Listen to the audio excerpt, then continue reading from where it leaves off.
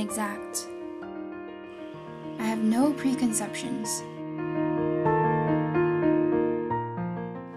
Whatever I see, I swallow immediately. Just as it is, unmisted by love or dislike. I am not cruel, only truthful.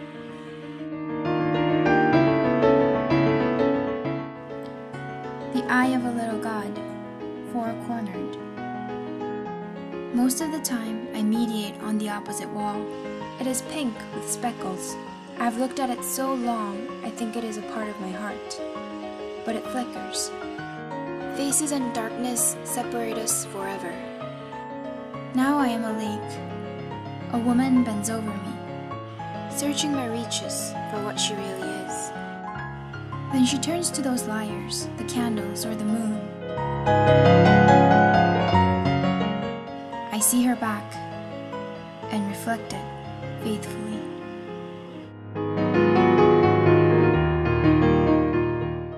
She rewards me with tears and an agitation of hands.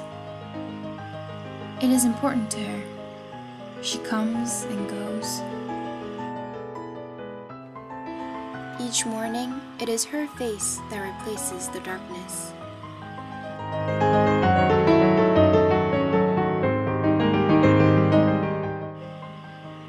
In me, she has drowned a young girl. And in me, an old woman rises toward her day after day like a terrible fish.